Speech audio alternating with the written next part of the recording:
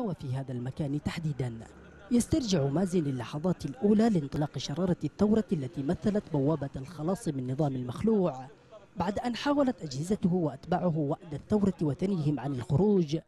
بعد انتهاء الثوار من تأدية صلاة الجمعة مرت سيارة آه، صالون فيها مسلحين تتبع آه، حمود الصوفي آه، مرتكب مجزرة أر- أربعة أربعة.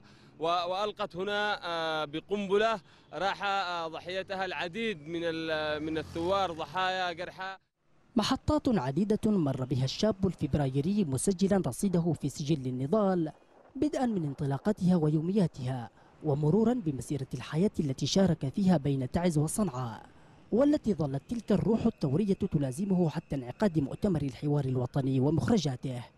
ثورة الحادي عشر من فبراير في مرحلتها الأولى خلصت إلى أعظم حوار خاضه اليمنيين في تاريخهم الحديث وتتوج حوار آه، الحوار الوطني الذي هو آه، مولود من رحم ثورة الحادي عشر من فبراير.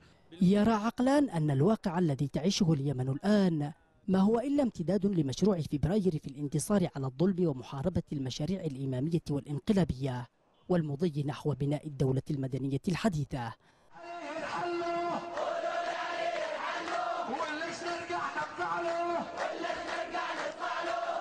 صوت الثورة.